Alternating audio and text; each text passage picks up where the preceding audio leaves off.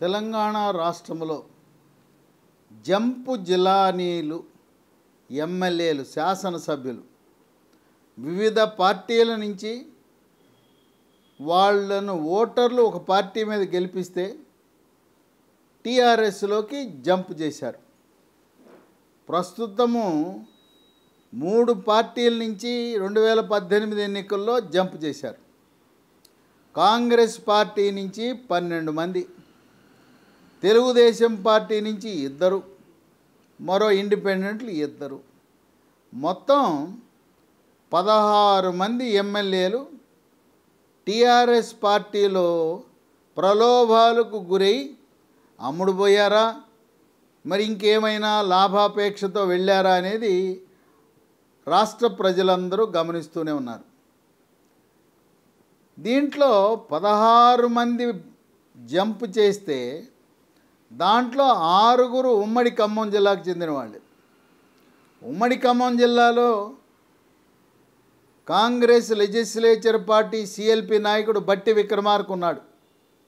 బట్టి విక్రమార్క ఉన్న ఉమ్మడి ఖమ్మం జిల్లా కాంగ్రెస్ పార్టీ ఖాళీ అయిపోయింది.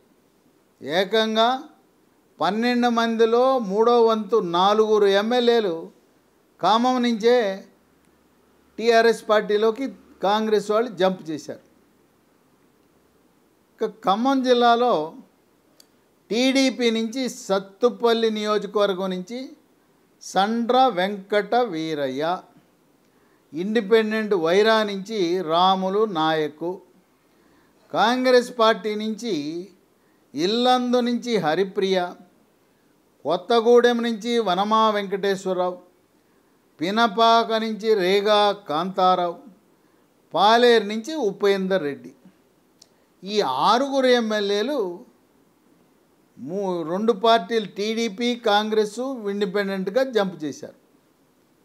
ఇప్పుడు ప్రశాంత్ కిషోరు కేసీఆర్కి టీఆర్ఎస్ పార్టీకి వ్యూహకర్తగానే కాక ఆయన నిర్వహించిన సర్వేలలో ఎవరైతే జంప్ జిలాలీలు ఉన్నారో పదహారు మంది దీంట్లో అధిక శాతము ఓడిపోతారని ఆయన నివేదికలు ఇస్తున్నాడు. కనుక పార్టీలు మారిన ఎమ్మెల్యేలకు సీట్లు ఇస్తే గెలవరు అని నివేదిక ఇచ్చాడు. ఏ విధంగా అయితే ఆంధ్రప్రదేశ్లో రెండు వేల పద్నాలుగు రెండు వేల పంతొమ్మిది మధ్యలో అక్కడ అవసరం లేకుండా ఇటువంటి ఇబ్బంది లేకుండా ప్రభుత్వం నిర్వహించబడుతున్న సమయంలో అకారణముగా వైఎస్ఆర్సిపి పార్టీ నుంచి తెలుగుదేశం పార్టీ ఇరవై ముగ్గురు ఎమ్మెల్యేలను వైఎస్ఆర్సిపి వాళ్ళను కొనుగోలు చేసి వాళ్ళలో ఇరవై ముగ్గురులో నలుగురికి మంత్రి పదవులు కూడా కట్టబెట్టారు. గెలిచింది ఫ్యాను గుర్తుపై శాసనసభలో కొనసాగుతున్నది ఫ్యాను గుర్తుపై మంత్రిగా మాత్రం తెలుగుదేశం పార్టీ. ఇరవై ముగ్గురులో ఇరవై రెండు మంది ఓడిపోయారు. అదేవిధంగా ప్రశాంత్ కిషోర్ ఇచ్చిన నివేదిక ప్రకారం పదహారు మంది ఎమ్మెల్యేలు ఎవరైతే పార్టీలు మారి టీఆర్ఎస్లో వచ్చారో దాంట్లో పదిహేను మంది ఓడిపోయే అవకాశం ఉందని నివేదిక ఇచ్చారు ఇప్పుడు వీళ్ళ పరిస్థితి ఎలా ఉందంటే ఎరక్కపోయి వచ్చానే ఇరుక్కుపోయానే. ఒకటి అసలు కేసీఆర్ టీఆర్ఎస్ టికెట్ ఇచ్చే పరిస్థితే లేదు. వీళ్ళని నేను ఎమ్మెల్సీ ఇస్తా రాజ్యసభ ఇస్తా చైర్మన్ ఇస్తా అది ఇస్తా ఇది ఇస్తా అని చెప్పి వాళ్ళని దాటేసి ఈ పదహారు నియోజకవర్గాల్లో కూడా కొత్త అభ్యర్థులు ఎమ్మెల్సీలను రాజ్యసభ సభ్యులను కార్పొరేషన్ మేయర్లను మున్సిపల్ చైర్మన్లను జిల్లా పరిషత్ చైర్మన్లుగా ప్రజలలో మంచి పేరుండి రాజకీయంగా బలంగా ఉన్న అభ్యర్థుల అన్వేషణ ప్రారంభమైంది ఎంపిక ప్రక్రియ ప్రారంభమైంది. కనుక పార్టీ మారటం వల్ల ఏదో తాత్కాలికంగా ఒక ఐదు సంవత్సరాలు వారి అధికారాన్ని అనుభవించారు. కొంత ఆర్థికంగా వెసులుబాటు కలిగి ఉండొచ్చు.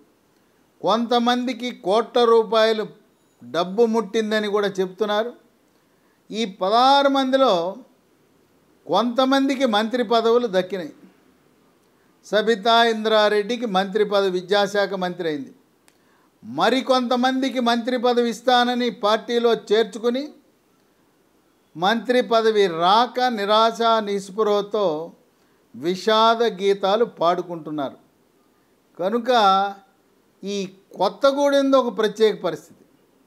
వనమా వెంకటేశ్వరరావు పార్టీ మారాడని వ్యతిరేకతతో పాటు ఆయన కుమారుడు రాఘవ పాల్వంచులో రామకృష్ణ ఆత్మహత్య తెలంగాణ రాష్ట్రంలోనే కాదు ఇరు తెలుగు రాష్ట్రాల్లో సంచలనాన్ని సృష్టించింది.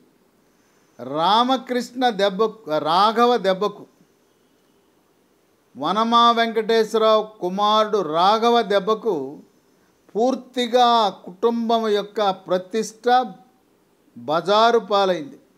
ఆ కుటుంబం నుంచి ఏ పార్టీలో ఎవరు నిలబడినా డిపాజిట్ కూడా వచ్చే పరిస్థితి లేదు. కనుక వనమా వెంకటేశ్వరరావు నాకేదో మంచి పేరుంది.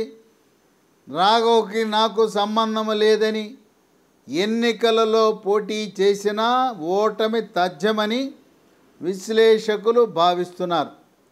కనుక ఆంధ్రప్రదేశ్లో ఇరవై ముగ్గురు వైఎస్ఆర్సిపి ఎమ్మెల్యేలు ఇరవై రెండు మంది ఓడిపోవటం దాన్ని గుణపాఠంగా తీసుకోకుండా తెలంగాణ రాష్ట్రంలో పదహారు మంది జంపు జిలాని ఎమ్మెల్యేలు.